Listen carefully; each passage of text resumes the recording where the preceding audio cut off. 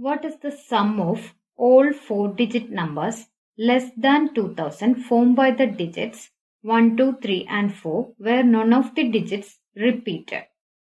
Here, question clearly says four digit number should be less than 2000. That means if the digits are 1, 2, 3 and 4, then first digit should be 1.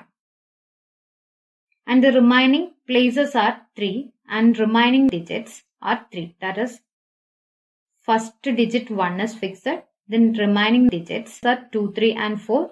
3 digits are there and 3 places are there.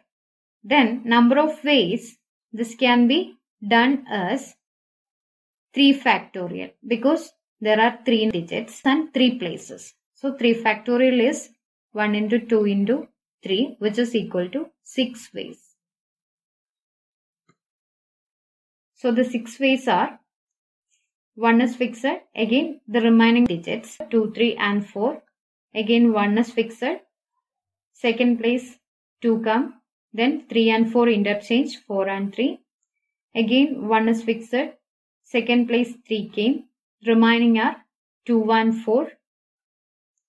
1 and 3 fixed, 2 and 4 interchange 4 and 2.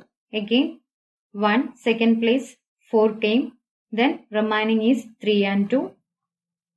1, 4. Again 3 and 2 interchange 2 and 3. So this these are the 6 ways. Now the sum is here 4 repeated 2 times, 3 repeated 2 times, 2 repeated 2 times. That is 18. So 8 comes here. 1 carry over. Now same digits repeated. That is 18 plus 1, 19. 1 carry over. Here 18 plus 1, 19.